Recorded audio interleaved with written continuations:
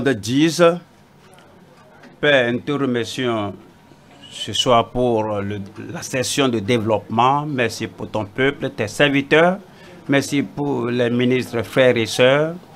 Nous demandons, Seigneur, que ce soir, que tu atteignes toutes les vies au nom de Jésus-Christ.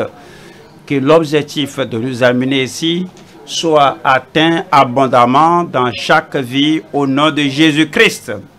Bénis tout le monde sans exception. Montre-nous ce que nous devons savoir et que ta grâce, que ta puissance, ta force eh, fortifie chacun de nous pour le ministre, pour le ministère devant nous au nom de Jésus-Christ. Nous te remercions parce que tu nous as exaucés. Au nom de Jésus, nous prions. Soit nous allons à Jean 15, verset 8. Jean chapitre 15. Nous lisons à partir du verset 8. Si vous portez beaucoup de fruits, c'est ainsi que mon Père sera glorifié et que vous serez mes disciples. Le Seigneur nous dit quelque chose de très important. Il nous dit ce qu'on doit changer et qui nous devons être et que si nous devons être disciples, nous devons porter de fruits. Porter beaucoup de fruits, porter plus, plus beaucoup de fruits et que le Père soit glorifié. Et si le Père sera glorifié, que Dieu soit content et que le Seigneur Jésus-Christ soit en même temps content et que son désir assouvi, c'est lorsque les disciples portent de fruits et les prédicateurs, et les pasteurs, et les ministres. Donc, euh, c'est à dire que les ouvriers dans le royaume de Dieu, le Seigneur est glorifié et le ministère est exalté, les pécheurs sont sauvés et plusieurs viennent dans le royaume lorsque nous portons de fruits, nous portons beaucoup de fruits et beaucoup plus de fruits. Et il nous dit la raison pour laquelle il nous a choisi et pourquoi il nous a nommé. Et la raison pour laquelle Dieu vous a choisi en particulier et vous a nommé particulièrement. Chaque fois, il faut comprendre pourquoi je suis ministre, pourquoi je suis pasteur, pourquoi je suis prédicateur, pourquoi je suis une personne choisie, un instrument choisi dans les mains de Dieu, que vous ne m'avez pas choisi, mais c'est moi qui vous ai choisi. Arrêtons, nous un peu là-bas, vous ne pouvez pas dire que, que, oui, que, oui, tu ne peux pas dire que c'est moi qui l'ai choisi, donc je peux l'abandonner. Tu ne peux pas dire que c'est moi qui l'ai embrassé, je peux sinon refuser cela à tout moment. Et il dit non, ce n'est pas vous qui l'avez choisi, ce n'est pas vous qui avez choisi le ministère, c'est le Seigneur lui-même lui-même qui vous a choisi pensez à Moïse. Ce n'est pas Moïse qui a choisi son ministère pour les enfants d'Israël. Donc il ne pouvait pas sinon dire que moi je ne vais plus continuer. Ce n'était pas Aaron qui s'est choisi lui-même pour être le souverain sacrificateur en Israël. C'était le Seigneur qui l'avait choisi. Et donc si vous pensez à, Josué, et que mon serviteur Moïse, euh, Moïse, mon serviteur, est mort, lève-toi et va devant le peuple et partage le pays pour eux. Alors Josué ne s'est pas choisi, c'était le Seigneur qui l'a choisi. Alors j'ai trouvé mon serviteur David un homme en qui euh, un homme qui accomplira mes volontés. C'est le Seigneur qui l'a choisi. Quand vous, quand vous, quand vous parlez de l'apôtre Paul, c'est le Seigneur qui l'a choisi. La même chose pour vous, pour moi, pour chacun de nous. Alors, vous ne m'avez pas choisi, c'est moi qui vous ai choisi. Donc, vous ne pouvez pas nous repousser, rejeter le ministère. Je suis fatigué, je suis faible, je ne sais pas ce que les gens font. Moi, je ne vois pas beaucoup de fruits. Sinon, peut-être, je dois sinon substituer cela à, quelque chose d'autre. Ce n'est pas vous qui l'avez choisi, c'est lui qui vous a choisi. Et c'est dit que vous a nommé afin que vous alliez et que vous portez de fruits. C'est la raison pour laquelle le Seigneur nous a choisis. Et dit que, et que, que et c'est dit que vous alliez, que vous portez de fruits et que votre fruit demeure. Tout ce que vous demanderez au Père en mon nom, il vous le donnera. En travaillant pour le Seigneur et en prêchant, en œuvrant, en faisant, en, et, en répondant à l'appel du Seigneur et faire ce que le Seigneur nous demande, alors vous allez voir que vous allez faire face à des choses qui exigent la prière, vous allez embrasser euh, des conseils à donner aux gens qui exigent la prière ou bien un ministère envers les gens qui exigent la prière dans votre vie. Alors, il, il faut la prière et le Seigneur pour quelque temps et le Seigneur va, va donner l'instrument et le Seigneur, euh, lorsque vous faites ce qu'il vous dit de faire, vous savez que vous ne pouvez pas sinon fuir le ministère ou bien abandonner le ministère. Vous êtes là, vous demeurez là-bas dans l'œuvre là, vous restez là où le Seigneur vous a positionné et tout ce que vous demanderez en tant que ministre, en tant que prédicateur, en tant que pasteur, en tant qu'individu, en tant que croyant, tout ce que vous demanderez au Père, il vous le donnera. Le Seigneur vous exaucera au nom de Jésus-Christ. Aujourd'hui, nous parlons du thème avancer vers un leadership le plus grandement productif. Avancer vers un leadership le plus grandement productif. En tant que dirigeant, vous n'êtes pas stagnant, en tant que dirigeant, vous ne vous êtes pas immobilisé. En tant que dirigeant, vous faites le progrès, vous avancez, vous allez d'un niveau à un niveau plus grand. Alors comment cela va-t-il se passer? Comment pouvons-nous le faire? On voit trois points. Numéro 1. L'onction de l'esprit pour les dirigeants purifiés. L'onction de l'esprit de Dieu pour les dirigeants purifiés. Numéro 2 avancer dans son service, avancer dans l'œuvre du Seigneur avec les dirigeants résolus.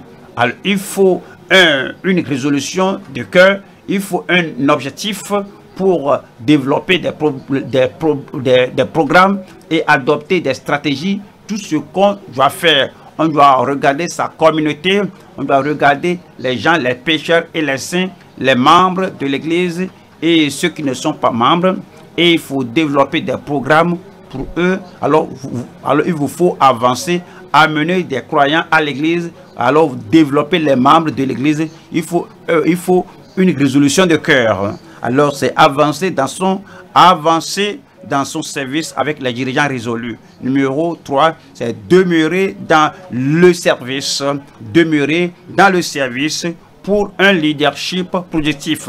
Si vous venez un pied dehors, un pied dehors, je viens, je ne travaille pas, je travaille. Alors vous êtes euh, ici et là, vous ne demeurez pas dans le service, vous devez demeurer avec un cœur ferme, vous devez demeurer avec un cœur résolu, vous devez demeurer avec des programmes et alors la nécessité d'être disponible à tout moment.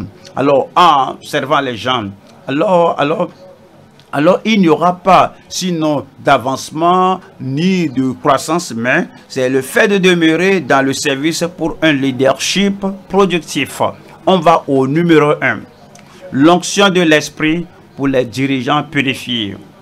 Nous allons à 2 Corinthiens chapitre 1, versets 21 et 22. L'onction. On a besoin donc de l'onction, on a besoin de la puissance de l'Esprit de Dieu, on a besoin de l'onction, on a besoin du revêtement de la puissance de Dieu, on a besoin de l'Esprit de Dieu qui nous enveloppe, qui nous, qui nous fortifie dans l'homme intérieur et nous montre ce qu'il faut faire et comment le faire et arriver à ce niveau de ministère, à ce niveau de service pour nous donner la puissance nécessaire pour faire ce que le ministère nous exige de faire, de faire efficacement là-bas. Deuxième Corinthiens chapitre 1. Nous lisons le verset 21. Et celui qui nous a fermés avec vous en Christ et qui nous a oint, c'est Dieu. Alors il nous a fermés, apôtres, avec vous, les ministres et les membres. Et il nous a oint, apôtres, ministres et pasteurs, évangélistes, enseignants, avec vous, les ministres, les gagneurs les gagneurs d'âme, les membres, celui qui a fait cela, qui nous a donné l'onction, qui nous a oint, c'est Dieu lui-même. Voilà le verset 2, verset 2 qui dit, lequel nous a aussi marqué d'un saut, et nous a établi, et nous a oint, et nous a donné la puissance, il nous a scellés, il nous a marqué d'un sceau de protection, de préservation, et, et, et, a mis dans nos cœurs, et a mis dans nos cœurs, ça le premier dépôt. Il nous a donné la puissance initiale de l'esprit, et a mis dans nos cœurs les arts de l'esprit. C'est ainsi que Dieu nous joint. Vous êtes sauvés, vous êtes sanctifiés. Maintenant, il vous joint de la puissance. Voyons trois choses ici. Numéro un, l'onction. L'onction après une sanctification purificatrice. Une sanctification qui n'est pas mentale, mais qui apporte la pureté du cœur. Après cette sanctification purificatrice, vous avez l'onction du Saint-Esprit, vous avez le revêtement de la puissance. Numéro 2, c'est l'assurance à travers la sanctification promise. Il a donné la promesse parce qu'il a donné la promesse et il est un Dieu fidèle. Ce qu'il a promis, il va toujours s'en souvenir. Non seulement il est un Dieu puissant et fort. Ce qu'il est en mesure de faire, il va le faire. Alors il a la puissance pour exécuter sa propre promesse. À cause de cela, nous avons l'assurance après que nous sommes sauvés, que nous allons au Seigneur avec consécration et avec dévouement et nous nous soumettons depuis l'intérieur de l'esprit avec le corps, avec chaque partie de notre vie qui a été rachetée par le sang de Jésus-Christ. Nous disons, je suis à toi. J'ai été racheté par un grand prix. Tout ce qui est en moi, tout ce que j'ai, chaque don, chaque talent t'appartient parce que tu m'as racheté avec ce grand coup et je mets cela sur l'autel. Et puis, euh, nous prions que qu'il purifie, qu'il circoncis le cœur, qu'il nous sanctifie et il le fera. Et nous avons l'assurance à travers la sanctification promise. Et puis avec l'onction, avec la prière d'assurance, nous avons l'autorité des saints qui prient. L'autorité des saints qui prient. Après être sauvé, alors on ne s'arrête pas de prier. Après être sanctifié, on ne s'arrête pas de prier. Après être rempli du Saint-Esprit, on ne s'arrête pas de prier. Nous continuons de prier.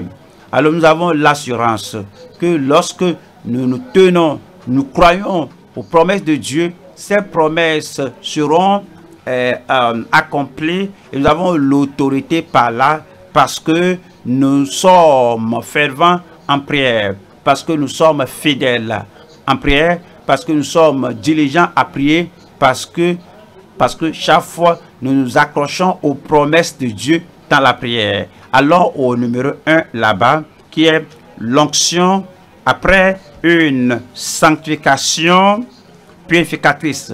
Alors comprenez la sanctification et voyez, voyons l'adjectif purificatrice.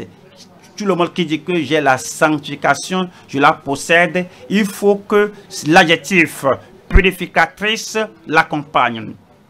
Oui, la sanctification nous purifie, la, sanctification nous, nous épure et si vous avez l'esprit, il y aura la pureté de, de vie, de, de, langage, de motif, toute chose autour de nous est purifiée. Voyons acte 15.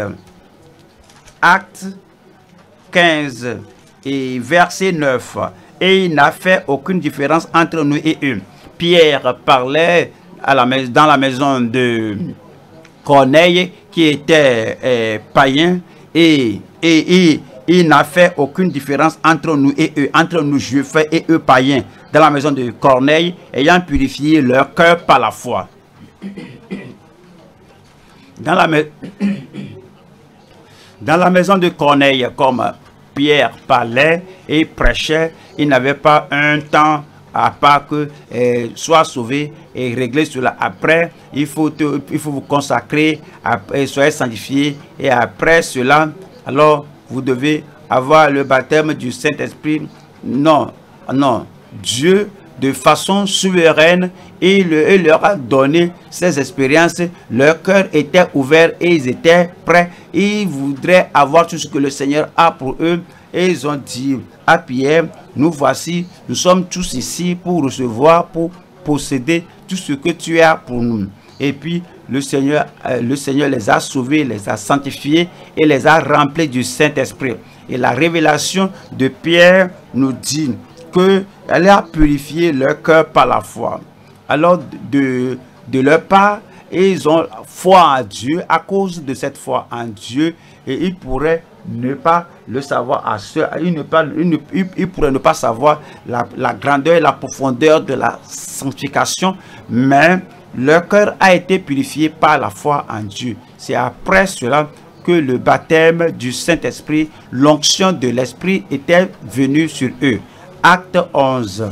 Acte chapitre 11 et verset 15 dit, Et lorsque je me fus mis à parler, le Saint-Esprit descendit sur eux comme sur nous au commencement. Vous comprenez ce que Pierre dit ici? Il dit que la sanctification qu'on a, c'est ce qu'ils avaient. Le baptême du Saint-Esprit qu'on a, c'est ce qu'ils ont. Il n'y a pas de différence. Et comme je leur parlais et comme je leur déclarais la parole de Dieu, que Christ est notre sauveur et que tous les prophètes de l'Ancien Testament ont rendu témoignage de ce fait que Jésus-Christ est celui qui était envoyé pour nous donner la rémission, le pardon, la rédemption de péché. Et lorsque je me fus mis à parler, euh, en le parlant de la position de Christ, la puissance de Christ et de tout ce que le Père au ciel a ordonné que Jésus soit et que je leur parlais de cette manière, on n'a même pas commencé à prier pour que le message prenne fin. Le Saint-Esprit descendit sur eux comme sur nous au commencement. Et puis, il dit au verset 16, Et je me souviens de cette parole du Seigneur. Jean a baptisé d'eau. Jean a immergé dans l'eau. Jean les a enveloppés d'eau. Jean les a plongés dans l'eau et l'eau les a couverts et c'est de la même manière. Comme Jean a, immergé les gens dans l'eau, alors ils étaient immergés du Saint-Esprit. Ils étaient euh, enveloppés du Saint-Esprit. Ils étaient revêtus du Saint-Esprit. Tout est autour d'eux, tout est par-dessus eux, tout est au-dedans d'eux. Et comme euh, Jean euh, a baptisé d'eau, mais vous serez baptisés du Saint-Esprit. Et 17 dit, Or, puisque Dieu leur a accordé le même don qu'à nous, puisque Dieu leur a accordé le même don qu'à nous, ils étaient païens, le Seigneur leur a accordé le même don qu'à nous, vous recevrez la puissance. Le Seigneur leur a donné la même puissance comme il nous l'a donné lorsque le, Saint-Esprit vient et vous conduira dans toute la vérité. Le Seigneur leur a donné cet enseignant, le Saint-Esprit, comme il nous l'a donné. Le Seigneur leur a donné celui qui révélera la pensée de Christ et le futur. Leur a donné tout le paquet comme il nous l'a accordé au départ. Alors car nous qui avons cru au Seigneur Jésus-Christ, pouvais-je moi m'opposer à Dieu? Alors il disait qu'ils n'étaient même pas baptisés d'eau, mais ils étaient sauvés, ils étaient sanctifiés, ils étaient remplis du Saint-Esprit. Et le Seigneur a fait cela pour les Juifs et les païens. Et comme il a fait pour eux, la promesse est pour vous et, et pour vos enfants et pour tous ceux qui sont loin et qui sont euh, et en grand nombre que le Seigneur appellera. Et si vous savez, si vous qui êtes méchant, vous savez donner de bonnes choses à vos enfants, à combien plus fort raison votre Père céleste qui est au ciel donnera-t-il du Saint-Esprit à ceux qui lui demandent? C'est pourquoi nous disons nous ordonnons d'être remplis du Saint-Esprit, de, ne pas être enivrés du vin alors vous êtes rempli auparavant, alors soyez encore rempli, vous êtes saturé, soyez saturé encore du Saint-Esprit. Alors il le fera dans chaque vie au nom de Jésus-Christ. Voyons, numéro 2 ici, l'assurance à travers la sanctification promise. Le salut est promis, on peut venir, il va nous le donner. La sanctification est promise, on peut venir, il va nous le donner. Et il y a la pureté de vie, la pureté de cœur, qu'il va nous purifier. Et alors, alors on sera plus, plus, plus que tout homme. Oui, voyez, et Enoch était pur, il peut le faire pour vous. Joseph était pur, il peut le faire pour vous. Moïse était pur, il peut le faire pour vous. Et euh, Paul était pur, il peut le faire, il peut le il, peut le faire pour vous. Paul est le disciple du Seigneur, Jésus-Christ. Lorsque il peut le faire pour vous, le Seigneur Jésus a dit prier et que il a prié que sanctifie pas la vérité, ta parole est la vérité. Et il a dit que je ne te prie pas de autorités du monde, que sanctifie-les, alors qu'ils soient purs comme nous. Alors tu peux être pur, ta pensée peut être pure, ton langage peut être pur, ta disposition peut être pure, ton intention, ton désir peut être pur, tu peux être pur au dedans et au dehors, parce que voici la promesse de Dieu et voici ce qu'il a dit qu'il fera. Il le fera dans chaque vie. Nous allons à Lévitique 20. Lévitique chapitre 20, verset 7, qui dit ici, vous vous sanctifierez et vous serez saints. Alors, sanctifier veut dire à deux côtés, à deux pas. Euh, euh, d'une part, ça veut dire se mettre à part et d'autre part, ça dit euh, rendre saint. Alors, vous avez sanctifié, cela veut dire que rendre saint, ou bien mettre à part, se mettre à part. Alors, du côté humain, alors c'est à vous de vous mettre à part. La main du Seigneur est sur vous. Avant que tu ne sois né, je te connais et je t'ai ordonné, comme Jérémie 1,5, que tu sois prophète des nations. Et vous a mis à part et vous êtes venu, vous êtes en accord avec Dieu. Vous vous êtes sanctifié, vous êtes mis à part pour le Seigneur. Vous avez dit que je ferai la volonté de Dieu. Et la parole de Dieu, c'est ce que je vais obéir. La voie de la justice, c'est ce que je vais embrasser, emprunter, embrasser. Tout ce que le Seigneur a pour moi, c'est ce que je vais faire. Alors mettez-vous à part, sanctifiez-vous. C'est dit ici que vous vous sanctifierez et vous serez saints. S'il y a des choses à ôter de votre vie, quelques mauvaises habitudes, euh, dont il faut euh, vous détourner, et ce qui ne vous fait pas euh, une véritable créature, un, un, croyant euh, du, du, Nouveau Testament, vous devez tout faire pour ôter ces choses de votre vie. vous serez saint car je suis l'éternel votre Dieu. Ça veut dire que vous êtes déjà né de nouveau, vous êtes déjà sauvé. Et verset 8 dit, vous observerez mes lois et vous les mettrez en pratique. Vous ne pouvez jamais faire cela sans être né de nouveau. Vous êtes sauvé et vous êtes sauvé et vous êtes affranchi du péché. Vous êtes devenu serviteur ou esclave de la justice. Étant, étant affranchi du péché, nous sommes devenus esclaves de la justice et nous portons des fruits de justice au Seigneur. À cause de cela, vous observerez mes lois et vous les mettrez en pratique. Je suis l'Éternel qui vous sanctifie. Mais dit, vous, vous vous sanctifierez, c'est la première signification de la sanctification. Et la, deuxième partie, je suis l'Éternel qui vous sanctifie, c'est lui qui fait l'œuvre intérieure. Par expérience, à le, la seconde œuvre de la grâce. Il fait cela dans votre vie.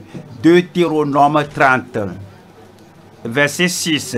La même chose, mais il emploie une autre expression pour la sanctification. Deutéronome 36. L'Éternel, ton Dieu, circoncira ton cœur. Alors, les enfants d'Israël étaient déjà circoncis, leur chair circoncis. Mais maintenant, le cœur. Qu'est-ce que cela veut dire?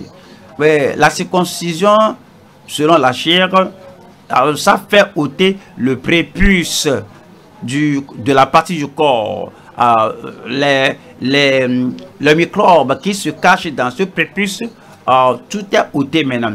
La même chose s'applique euh, pour le cœur. Le, le cœur qu'on a mené dans ce monde avec la dépravation, avec la nature adamique et cela, euh, euh, cela amasse des déchets, des choses mauvaises qui sont là, et ce qu'on a amené dans ce monde, et, les, ça, ça, ça, masse de mauvaises choses, Dieu dit, tu ne peux pas nettoyer ce cœur. C'est moi qui vais le faire pour toi, sanctifier le cœur, purifier ton cœur, nettoyer ce cœur pour que ce soit un cœur qui plaise à Dieu à tout moment. Le Seigneur dit, mais je le ferai pour toi. C'est pourquoi c'est dit que je suis l'éternel. Euh, je suis l'éternel qui, qui l'éternel ton Dieu circoncira ton cœur. Alors, il circoncira ton cœur. C'est une promesse qui ne peut jamais faire défaut. Nous avons l'assurance que comme nous venons au Seigneur, nous disons Seigneur, merci parce que je suis sauvé. Merci Seigneur parce que je suis pardonné. Merci Seigneur parce que je suis une nouvelle créature en Christ. Je viens maintenant pour ce que tu m'as promis. Tu as dit que tu vas me sanctifier. Tu as dit que tu vas me purifier. Tu as dit que tu vas ôter la nature adamique alors que j'ai amené dans le monde. Tu as dit que tu vas l'ôter de moi. Seigneur, je viens à toi maintenant. Circoncis mon cœur. Alors, c'est pour aimer l'éternel ton Dieu lorsque la sanctification est effectuée, lorsque la circoncision du cœur est faite, cela vous fera aimer le Seigneur, votre Dieu, de tout votre cœur. Alors ce ne sera pas euh, un côté ici, euh, euh, ce ne sera pas un demi-amour, mais un amour plein. Votre amour sera plein, un, votre amour sera persévérant, plein pour Dieu, un, amour entier. C'est le premier commandement selon la parole du Seigneur Jésus-Christ, le plus grand. Et le premier commandement, c'est d'aimer l'Éternel, votre Dieu, de tout votre cœur, de toute votre âme, de toute votre pensée, de toute votre force. Et c'est cela n'est rendu possible et, que Dieu l'exige et Dieu n'a pas fini avec vous jusqu'à ce que cela soit fait.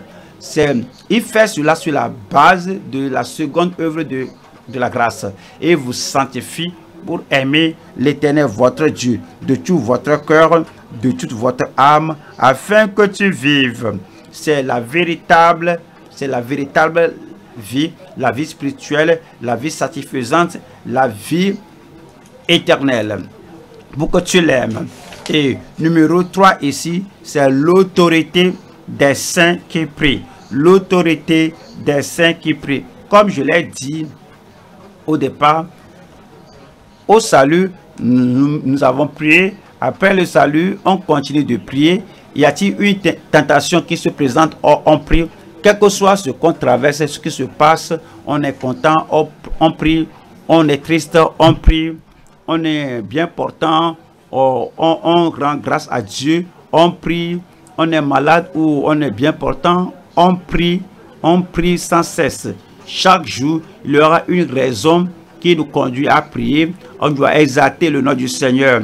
Si vous êtes croyant, si vous êtes chrétien, la prière doit, doit faire partie intégrante de votre vie, doit être une caractéristique bien connue dans votre vie. Maintenant, il nous dit l'autorité qu'on a lorsque nous prions. Sauvez, vous priez. Sanctifiez, vous continuez de prier. Rempli du Saint-Esprit, vous continuez de prier. Un membre, vous continuez de prier. Vous êtes devenu un ministre. Alors, votre prière continue et s'élève. Et vous avez maintenant un nouveau niveau, un niveau très élevé, une responsabilité dans le royaume, un ministère dans l'église. Comme vous croissez, alors dans, en opportunité, votre vie de prière s'élève et croît. Alors, ça, c'est le processus normal et la croissance normale qu'on doit avoir. Cela nous donne l'autorité. C'est dit aux actes, chapitre. Actes, chapitre 1, verset 4. Cela parle de Christ. Acte 1, 4. Comme il se trouvait avec eux, il leur recommanda de ne pas s'éloigner de Jérusalem. Cela parle de celui à qui on a donné notre cœur. Alors tout ce qui se passe dans notre vie, chaque condition dans notre vie, chaque direction de notre vie, chaque décision de notre vie, là où nous restons, là où nous allons, lorsqu'on, là, là où on refuse d'aller et décide de tout, alors il ne nous donne pas la liberté de prendre, de mener notre vie comme bon nous semble que demain je ferai ceci, le lendemain, je ferai ceci. Alors nous abandonnons notre cœur à lui et, c'est lui qui contrôle notre vie, qui commande notre vie. Alors il nous a racheté d'un grand prix parce que nous sommes esclaves. C'est lui qui, leur recommanda de ne pas s'éloigner de Jérusalem, mais d'attendre ce que le Père avait promis. Il a prié pour leur sanctification après le salut, après la sanctification. Vous attendez vos prières, vous restez pour la promesse du Père qui et c'est dit, ce que je vous ai annoncé, leur dit-il. Parce que le verset 8, il dit, mais vous recevrez une puissance. C'est pourquoi il veut qu'il attende. C'est pourquoi il veut que vous attendiez. Vous restez à la maison. Alors on n'a pas assez de temps au, au cours du programme pour prier, mais arriver à la maison lorsque le message est encore frais, nouveau dans votre vie, lorsque la révélation est encore fraîche et lorsque le désir de suivre le Seigneur est encore nouvelle dans votre vie, alors vous espérez en l'éternel parce que vous recevrez une puissance. Le Saint-Esprit survenant sur vous et vous serez mes témoins. Vous serez mes témoins. La puissance viendra, vous serez mes témoins. Alors vous devez être sauvés, alors vous serez mes témoins. Vous devez être sanctifiés et puis vous serez mon témoin. Vous devez être rempli, saturé, enveloppé et fortifié par l'Esprit de Dieu, baptisé dans le Saint-Esprit et la puissance doit être dans votre vie. Vous serez mes témoins à Jérusalem, là où vous avez tendance à fuir parce qu'ils ont crucifié le Seigneur, là où les pharisiens se trouvent, là où se trouvent les sadducéens, là où les gens qui ne, voudraient pas entendre l'évangile, que, que son sang soit sur nous, sur nos enfants, là où les, les religieux rigides et ces mauvais types à Jérusalem se trouvent. Et quand la puissance vient, vous serez mes témoins à Jérusalem, dans toute la Judée, dans tous les environs où il y a la religion euh, euh, syncrétique, euh, la moitié judaïsme, moitié paganisme, et puis dans la Samarie et, jusqu'aux extrémités de la terre, là où la civilisation n'est pas n'a pas atteint, lorsque la puissance vient avec l'assurance, alors vous allez prier, vous priez et vous prêchez, vous priez et vous prodiguez des conseils, vous priez et vous faire tout ce que vous devez faire pour le Seigneur et dans le Seigneur et tout ce que vous faites pour le Seigneur, pour la prédication, pour les conseils, pour la prière pour les gens, tout est saturé avec la prière. Il y aura l'autorité dans votre vie au nom de Jésus-Christ. Nous allons au deuxième point maintenant. deuxième point, c'est avancer dans son service avec les dirigeants résolus. Avancer dans son service avec les dirigeants résolus.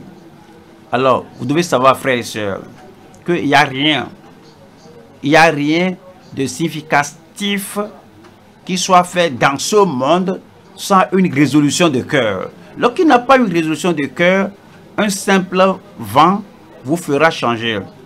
Une petite difficulté, une petite épreuve, euh, une petite, un petit caillou dans la roi et une petite écharge qui vous pique, qui vous blesse, vous fera changer. Oui, les intempéries vous feront, vous feront changer que il fait chaud, tout le monde transpire, euh, il pleut, c'est trop frais et le climat politiquement vous fera changer et la nature du, lieu, du lieu où vous êtes, où vous prêchez, alors vous entendez de mauvaises nouvelles, alors euh, que vous n'entendez pas les nouvelles du ciel, mais vous entendez les nouvelles de la terre, moindre chose qui se passe, qui va au-delà de la normale, alors de l'ordinaire à cause de euh, l'aberration, de, des choses qui se passent, alors parce qu'il n'y a pas de résolution de cœur, vous allez changer. C'est pourquoi c'est dit que Daniel a résolu, il résolu, Daniel résolu, euh, là à Jérusalem, à Babylone, c'est un lieu différent, un lieu souillé, et tout ce que nous avons euh, appris à la maison, à chez nous, au pays, avant d'être ici à Babylone, alors tout s'évaporera et nous ne serons pas en mesure de faire quelque chose ici et faire et, et, tenir ferme ici pour la gloire de Dieu, tenir bon pour la gloire de Dieu, si on n'a pas la résolution de cœur. Alors Daniel résolu. Alors tout ce que vous apprenez à l'étude biblique, ce que, ce que vous apprenez à, la session de développement des dirigeants, ce que vous apprenez à la formation des ouvriers, tout ce que vous apprenez dans votre temps de dévotion, alors vous n'allez faire vous, n'allez jamais exécuter aucune de ces choses sans une résolution de cœur. Alors pour comprendre que ça c'est ma destination, ça c'est la direction que j'emprunte pour comprendre que c'est ce à quoi Dieu m'appelle de faire et ce sera faire. Alors il, il, peut, il pourrait se trouver un soutien, une persécution, une difficulté ou un défi, mais vous devez une résolution de cœur. Je prie que Dieu fasse cela pour chacun de nous au nom de Jésus-Christ. Et voyons, deuxième Timothée 3, deuxième Timothée 3, deuxième Timothée, et voilà le verset 10, qui dit, pour toi, tu as suivi de près mon enseignement. Voici l'apôtre Paul, il parlait à Timothée et il essayait et d'encourager Timothée dans, euh, à dire euh, Timothée euh, que tu as une nature timide, si tu veux travailler, faire quelque chose de constant et quelque chose de productif dans le royaume de Dieu, et regarde, regarde la qualité que Dieu a suscité en moi. Et je veux que cela se reproduise en toi. Et mais c'est dit que pour toi, tu as suivi de près mon enseignement, ma conduite, mes résolutions, mes résolutions, ma foi, ma douceur, ma charité, ma constance. Voyez maintenant les résolutions là-bas. Sans résolution, alors vous ne serez pas en mesure de garder la doctrine aussi, aussi, aussi longtemps que les questions, les interrogations, les critiques des gens, les religieux et les, irréligieux vous critiquent, sans résolution, vous ne pouvez pas, vous ne pouvez pas tenir bon pour les, sur les doctrines et parler de et, ma conduite. Vous allez décider ça. Votre conduite dans, dans, dans, dans votre domaine de prière, et vous prenez cela dans la parole de Dieu que vous avez lu. Alors, voici ce que Dieu que vous voyez, vous soyez. Voici la façon euh, dont Dieu veut que vous vous comportez, que vous voulez être un champion dans votre communauté, un héros. Alors, euh, un vainqueur est courageux, non compromettant, et inflexible. Alors, sans une résolution de cœur, cette conduite est impossible. Alors, alors quoi vous pensez? Vous lisez les promesses de Dieu, les choses pour lesquelles vous devez prier, vous lisez la promesse de Dieu, que je crois qu'il en sera comme cela va être dit.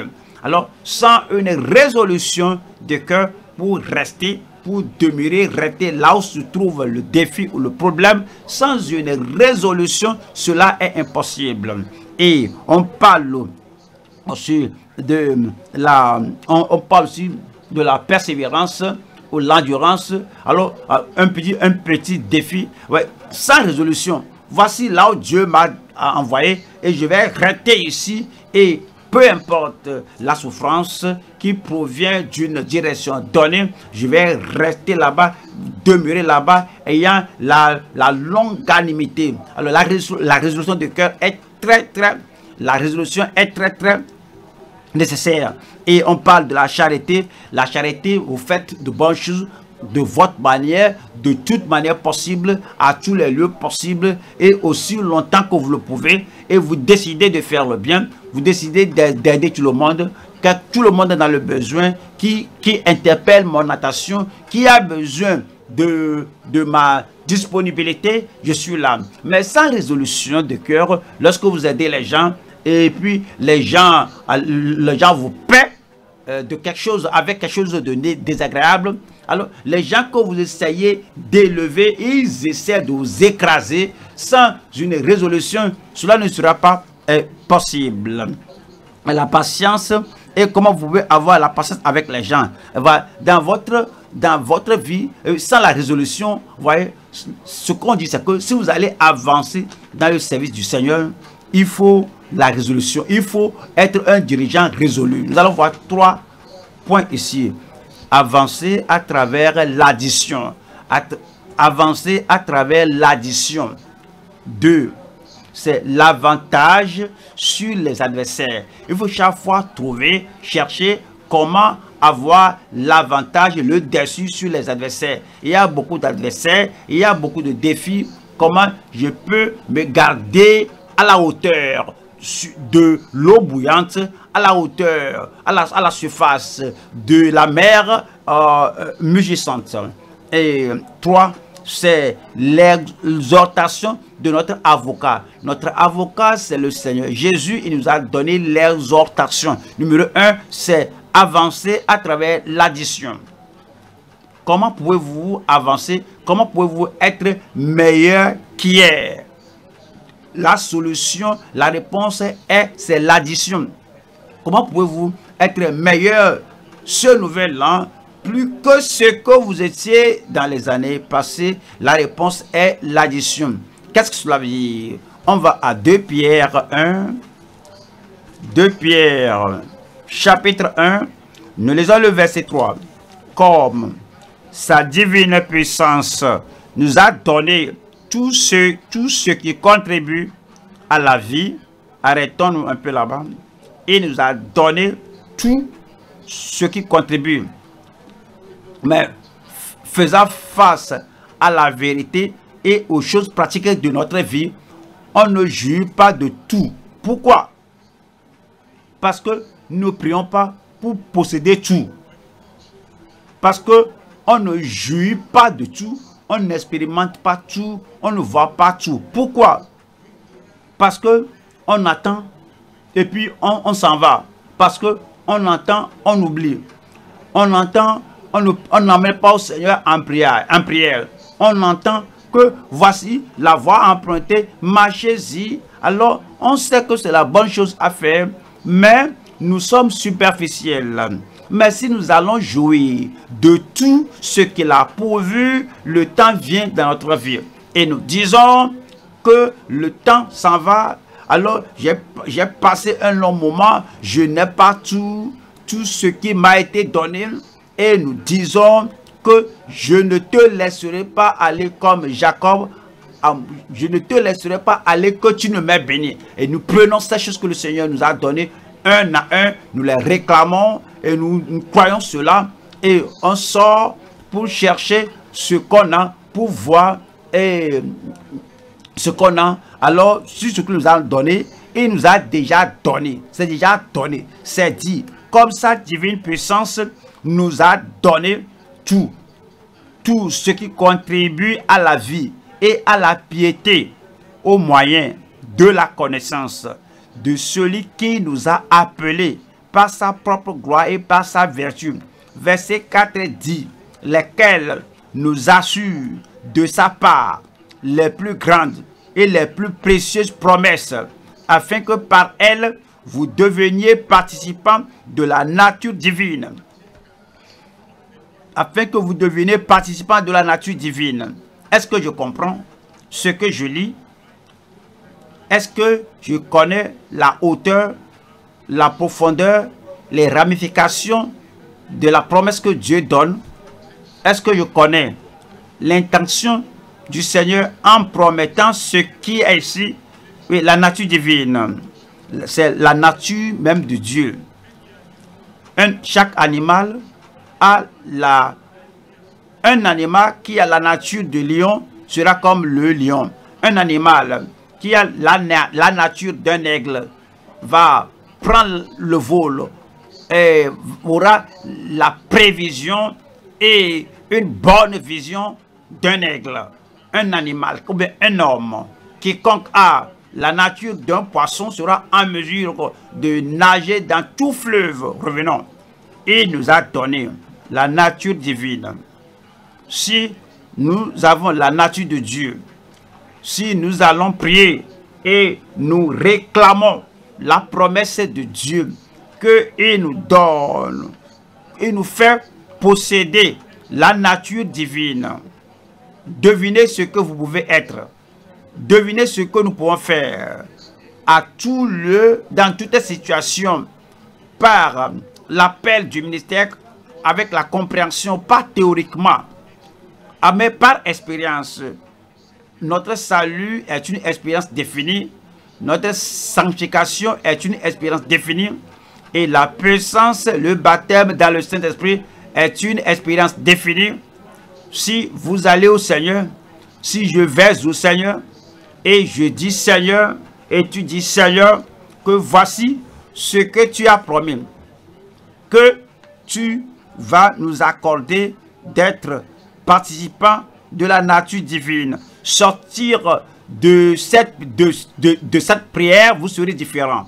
Vous serez différent au nom de Jésus-Christ. En fuyant la corruption qui existe dans le monde par la convoitise. Peu importe la partie du monde où vous prêchez, vous, allez, vous avez échappé la corruption, la souillure, l'iniquité, la transgression et, et le mal particulier dans cette communauté. Alors il vous fera échapper à la corruption qui est dans le monde par la convoitise. Voilà le verset 5 maintenant qui est avancé à travers l'addition. Le, le fondement est posé. Le salut est défini. La sanctification est définie. La puissance du Saint-Esprit est définie. Alors il vous a accordé d'être participant de la nature divine. À cause de cela même. Verset 5. Faites tous vos efforts. C'est ainsi qu'on avance. Faites tous vos efforts. C'est ainsi qu'on avance. Faites tous vos efforts pour joindre à votre foi la vertu, à la vertu la science. Verset 6. À la science, la tempérance et que vous continuez d'ajouter, vous continuez d'ajouter, vous continuez d'ajouter, parce que si vous cessez et que et vous et puis vous bandez et vous soutenez, vous soutenez votre euh, main avec une bande, vous, vous l'immobilisez comme ça, vous l'immobilisez, alors, et vous, vous l'immobilisez un an, alors vous allez, vous ne, vous ne pouvez plus utiliser la main là. Ce que vous n'utilisez pas, vous allez le perdre. Alors, ce que vous avez, vous n'utilisez pas, alors les choses vont se déprécier. Mais si vous allez avancer, et si vous allez demeurer, vous allez, si vous allez continuer d'avancer, vous allez continuer d'avancer, alors vous ajoutez, alors vous ajoutez et à, la tempérance et la patience, à la patience, alors vous faites cela délibérément. À la patience, la piété, verset 7 dit, à la piété, l'amour fraternel, à l'amour fraternel, la charité. Voilà le verset 8 maintenant. Verset 8 dit, car si ces choses sont en vous, et ils sont avec abondance parce que vous continuez d'ajouter, alors elles ne vous laisseront point oisifs ni stériles pour la connaissance de notre Seigneur Jésus-Christ. Voilà le numéro 2 ici. Numéro 2, c'est l'avantage sur les adversaires. L'avantage sur les adversaires. Il y a des gens qui travaillent dans le monde sans se rappeler que Satan est le Dieu de ce monde il y a des gens qui prêchent dans le monde et ils semblent avoir cette euh, idée erronée que le monde est un lit de rose, que tout ce qu'on trouvera dans le monde, c'est quelque chose de euh, réconfortant, quelque chose d'agréable, de bon. Il n'y aura pas de danger, il n'y aura pas de difficultés, pas de défis partout dans le monde. Mais nous devons nous rappeler que le monde est sous l'emprise, sous le contrôle du malin. Cependant, après avoir compris cela, il y a des adversaires dans le monde. Nous devons savoir là où nous sommes et, avoir l'avantage sur les adversaires. 1 Corinthiens 16, verset 9. 1 Corinthiens. 1 Corinthiens, chapitre 16 verset 9. car une porte grande et d'un accès efficace mais ouverte. Et les adversaires sont nombreux. Et les adversaires sont nombreux. Et les adversaires sont nombreux. Mais comprenez l'avantage. La porte a été ouverte depuis le ciel. Ces adversaires sont ici sur la terre. Et il n'y a pas de puissance sur la terre qui puisse efficacement empêcher ce qui vient du ciel, ce qui a été orchestré et donné depuis le ciel. Ça, c'est l'avantage. Que celui qui est en haut là-bas est le très haut et le Dieu du ciel. Et Jésus-Christ, notre Seigneur et notre Sauveur, qui a vaincu le diable, qui a vaincu la mort, qui a vaincu les maladies, qui a vaincu les démons, qui a vaincu tout pouvoir, qui peut se trouver dans ce monde, c'est lui qui est au ciel et c'est lui qui a ouvert la porte. Non seulement ça, une grande porte, une porte grande, une grande porte d'opportunité, une grande porte de ministère. Et Dieu a fait cela pour un objectif. Oui, quoi que les adversaires soient ici sur la terre. Alors, mais tous ces adversaires ici sur la terre, pensez-y de cette manière. Ils sont semblables aux reptiles. Alors, ils, ils rampent sur la terre et vous êtes en haut, ceux qui espèrent l'éternel renouveler leur force. Alors, ils vont prendre le vol d'aigle, comme vous êtes comme un aigle volant, et les reptiles sont sur terre, à terre, ils ne peuvent pas voler, ils ne peuvent pas arriver au niveau où vous êtes. Vous avez l'avantage spirituellement. Alors, eux, ils sont terrestres. Alors, vous êtes spirituels ils sont charnels. Vous avez la puissance de Dieu. Vous avez la puissance qui a créé tout l'univers et eux ne peuvent rien créer. Et notre avantage est que c'est le Dieu du ciel qui a ouvert la porte pour nous. Et l'apôtre Paul dit que mais, mais, mais ouverte. Et que, regardez, quoique réellement, et je suis le plus, je, je, je, je suis le moindre des saints, des apôtres, non qualifié d'être apôtre, mais c'est dit que et une grande porte est d'un accès efficace mais ouverte. La porte n'a pas été ouverte à Pierre, ni à Jean, ni aux premiers disciples du Seigneur Jésus-Christ. Quel avantage avons-nous? Nous avons ce grand avantage. Et puisse le Seigneur vous faire voir plus d'avantages que vos adversaires au nom de Jésus-Christ.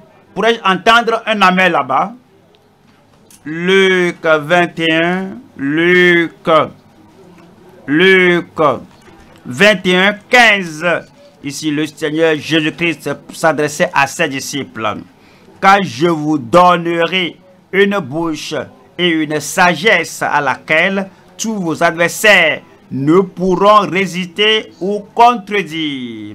Je vous donnerai une bouche et qui ne sera pas fermée lorsque vous devez parler une bouche qui ne, qui ne doit pas trembler lorsque vous devez parler courageusement, une et une bouche qui s'associe au cœur, qui est la, révélation du, du, ciel. Je vous donnerai une bouche et une sagesse à laquelle tous vos adversaires, quelle que soit leur provenance, quelle que soit leur expérience, leur pouvoir occulte ou tout ce qu'ils ont comme pouvoir, tous vos adversaires ne pourront résister ou contredire. Voyons, Philippiens 1, verset 27. Philippiens 1, nous lisons le verset 27. Seulement conduisez-vous d'une manière digne de l'évangile de Christ, afin que, soit que je vienne vous voir, soit que je reste absent, j'entends dire de vous que vous demeurez ferme dans un même esprit, fortifié dans votre esprit, vitalisé, stabilisé, affermi dans votre esprit, combattant d'une même âme pour la foi de l'évangile. Verset 28, 28 dit, sans vous laisser aucunement effrayer par les adversaires.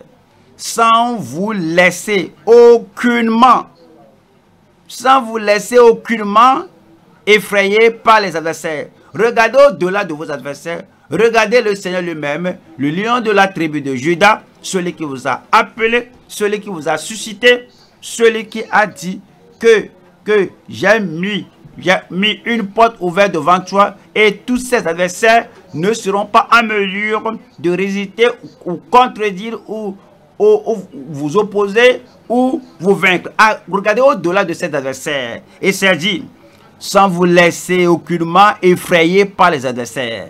Ce qui est pour eux une preuve de perdition, mais pour vous de salut. De salut. Et cela de la part de Dieu. Et le Seigneur se tiendra à vos côtés. Le Seigneur restera à vos côtés. Vous, vous aurez toujours l'avantage sur tous les adversaires au nom de Jésus-Christ. Voyons numéro 3. Maintenant ici, c'est l'exhortation de notre avocat. L'exhortation de notre avocat. Et nous dit en Matthieu 24, Matthieu 24, 12, Matthieu chapitre 24, verset 12. L'iniquité, euh, et parce que l'iniquité se sera accrue, la charité du plus grand nombre se refroidira. Et parce que l'iniquité se sera accrue, parfois dans la communauté où nous vivons, peut-être vous vivez là-bas maintenant plus de 5 ans, 10 ans, et puis l'iniquité, la violence, des choses terribles se produisent là-bas qui ne s'étaient pas produites euh, 10 ans passés. L'iniquité abonde et à cause de cela, certaines personnes cèdent, s'écroulent, euh, leur amour se refroidit. Peut-être l'état dans lequel vous vous trouvez, dans le ministère, peut-être dans votre commune, là-bas, vous êtes là pour un moment donné, il y a la paix là-bas et les gens ont un niveau de moralité les gens savent qu'on ne peut pas faire ceci et cela. Et puis la société là-bas était, était convenable à l'époque. Et alors, alors, et alors c'est facile de, d'avancer dans le ministère. Maintenant, les choses changent là-bas. Et parce que il y a la, la violence maintenant qui, qui va euh, euh, croissant. Alors, on voit que l'amour du plus grand nombre se refroidit.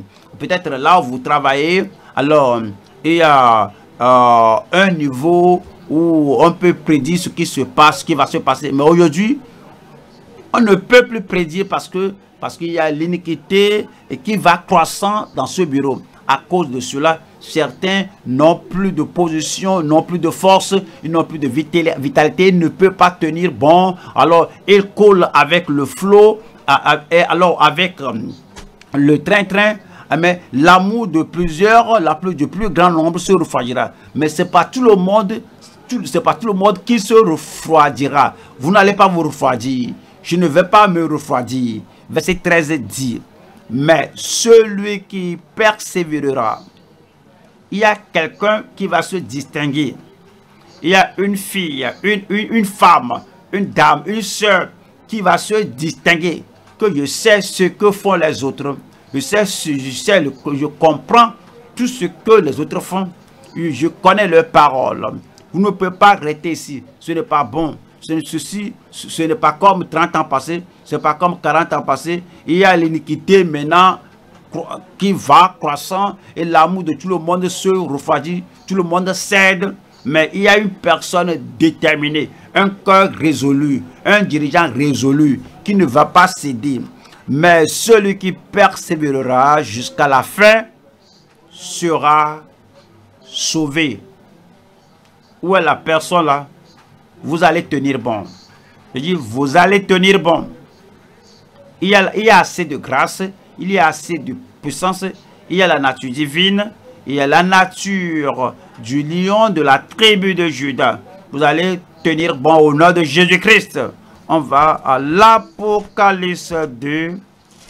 Apocalypse chapitre 2, verset 26. à celui qui vaincra et qui gardera jusqu'à la fin mes œuvres. À celui qui vaincra et qui gardera jusqu'à la fin mes œuvres.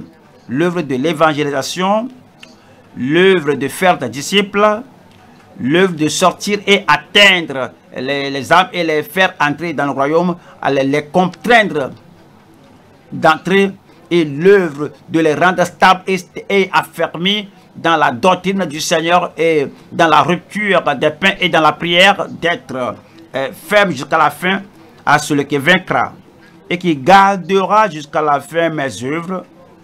Je donnerai autorité sur les nations. Chapitre 3, verset 11. Chapitre 3, 11 de Apocalypse 3, 11. Je viens bientôt. Retiens ce que tu as. on le peut on peut être ferme. Retiens ce que tu as. Nous pouvons être focalisés, nous pouvons être déterminés. Retiens ce que tu as. Si ce n'était pas possible, le Seigneur ne, ne nous l'aurait pas dit. Retiens ce que tu as, ce que vous avez, ce que tu as, afin que personne ne prenne ta couronne. Personne ne prendra votre couronne au nom de Jésus-Christ. Troisième point maintenant demeurer dans le service pour un leadership productif. Demeurer dans le, dans le service pour un leadership productif. On va à Jean 15, verset 4. Demeurez. Demeurez en moi et je demeurerai en vous. Demeurez en moi fermez, fermez-vous, non, revêtez-vous de moi, demeurez en moi, afin que ma révélation soit la vôtre, que mon inspiration soit la vôtre, que ma focalisation soit la vôtre, que mon progrès soit votre progrès, que la voie, que j'emprunte soit votre voie. Ce que j'aurais fait si j'étais là, à l'époque là, c'est ce que vous faites. Alors, demeurez en moi et je demeurerai en vous. Mon, mon courage en vous, ma vision en vous, ma détermination en vous, ma résolution de cœur en vous, ma persévérance en vous. Demeurez en moi et je demeurerai en vous comme le serment ne peut de lui-même porter du fruit s'il ne demeure attaché au cep. Ainsi, vous ne le pouvez non plus si vous ne demeurez en moi. Verset 7. Verset 7. Si vous demeurez en moi et que mes paroles demeurent en vous, demandez ce que vous voudrez et cela vous sera accordé. Nous allons voir trois choses ici. Numéro 1 reconnaître notre service assigné. Numéro 2, renoncer à tous les substituts attrayants. 3, récompenser une résolution approuvée. Numéro 1, c'est reconnaître notre service assigné. On va à Marc 13. Marc chapitre 13, verset 34. Il en sera comme d'un homme qui partant pour un voyage laisse sa maison, remet l'autorité à ses serviteurs. Voyez ceci, indique à chacun sa tâche. Indique à chacun sa tâche et ordonne au portier de veiller. Regardez le Seigneur Jésus-Christ lui-même, le Fils de l'homme, alors qu'il partait pour un voyage lointain et son service, son devoir a été déjà assigné depuis la fondation du monde, depuis le fondement du monde. C'est pourquoi il a été appelé comme un agneau immolé depuis la fondation du monde. Si vous vous rappelez bien, et que j'amènerai, j'apporterai, je, je mettrai inimitié entre toi et la femme, entre sa portraité et ta portraité. Il te blessera le talon et tu et, et, et, te blessera le talon et tu écraseras sa tête. C'est le devoir du Seigneur Jésus-Christ. Cela a été donné. Alors, il a reconnu cela et il a dit que est-ce que vous ne savez pas que je dois me préoccuper des affaires de, mes, les, les, œuvres de mon père? Rappelez Jérémie avant que tu ne sois né, que je t'ai consacré. Alors, je, l'ai déjà préécrit que tu deviendras prophète des nations. Vous rappelez euh, bien Jean-Baptiste, et son nom sera appelé Jean. Il sera rempli du Saint-Esprit devant des entrailles de sa mère et il va détourner, va détourner le cœur des enfants vers les pères. Alors il préparera la voie du Seigneur. Rappelez-vous l'apôtre Paul que celui qui m'a fait sortir du ventre de ma mère, c'est lui qui m'a appelé et m'a montré, je t'ai montré ce que tu vas faire. Alors il a reconnu cela. Il, il a donné autorité aux serviteurs et, à, et ordonne aux portiers de veiller. Alors vous a donné l'œuvre à faire alors reconnaissez, reconnaissez cela, demeurez-y et restez en cela. On va, deuxième euh, point là-bas, c'est renoncer à tous les substituts attrayants. Il y aura des substituts, il y aura des choses qui vont se présenter disant que, n'est-ce pas, ceci, ceci n'est pas attrayant. Ça, c'est un substitut, c'est une alternative. Ne peux-tu pas, faire ceci? On va aux Hébreux. Hébreux Hébreu 11, verset 24.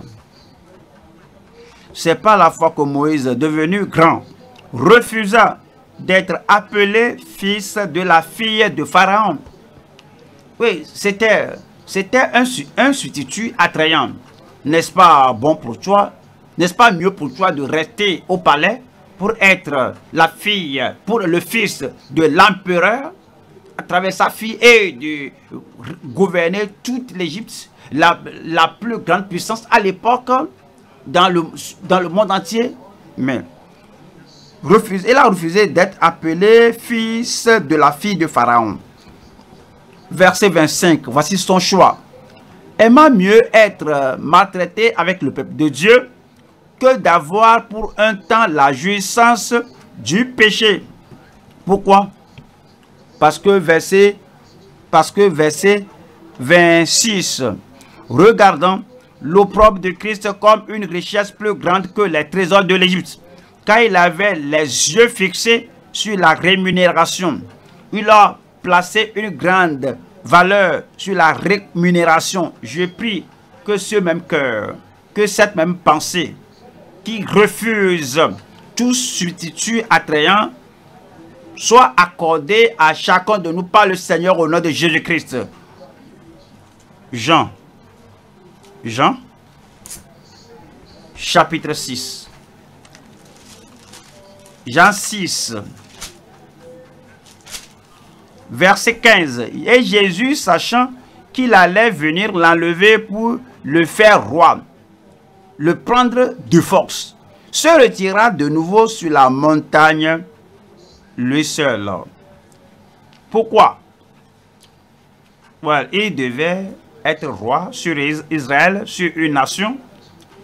Il devait être roi, un titre politique sur le peuple d'Israël parce qu'il espérait qu'il les délivrerait euh, de l'Empire romain.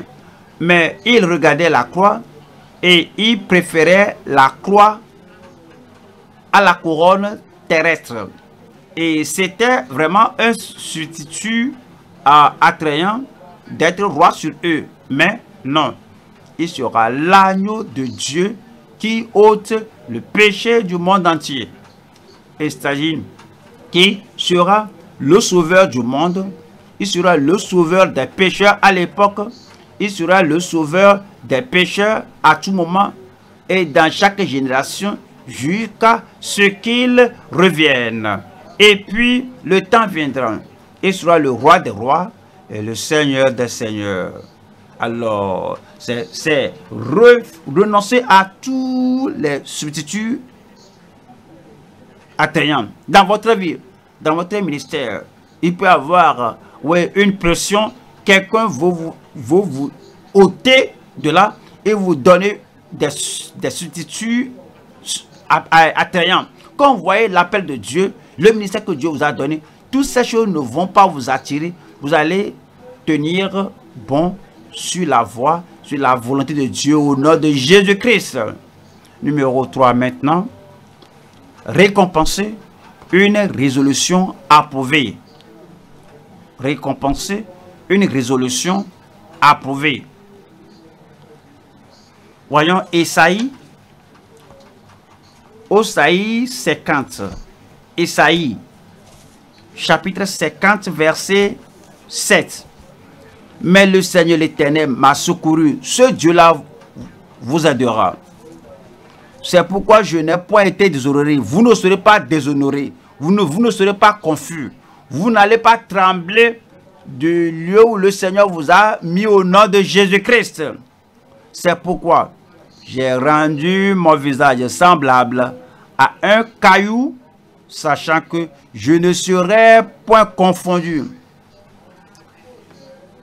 C'est pourquoi j'ai rendu mon visage semblable à un caillou. Je connais ma destination, je connais mon appel, je connais le ministère auquel il m'a appelé, quel que soit le vent qui souffle, quel que soit la mer qui me gît, j'ai rendu mon visage semblable, semblable à un caillou.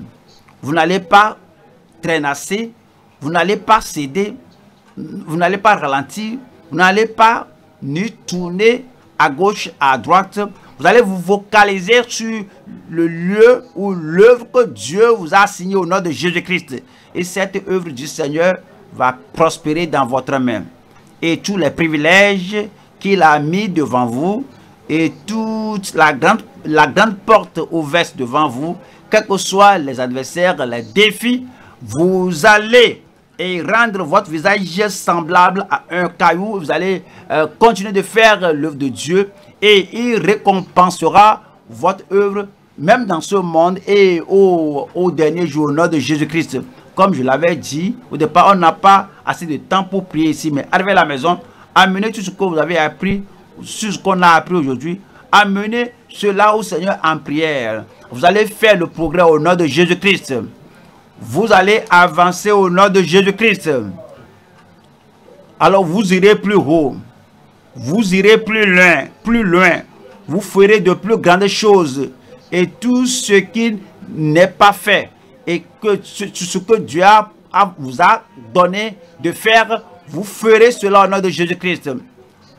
Personne ne prendra votre place. Toute l'onction, toute la puissance dont vous avez besoin le Seigneur vous l'accordera au nom de Jésus-Christ. Donnez-moi un bon amen de dirigeant. Tenons-nous debout maintenant et parlons au Seigneur en prière. Tenons-nous maintenant et parlons au Seigneur. Euh,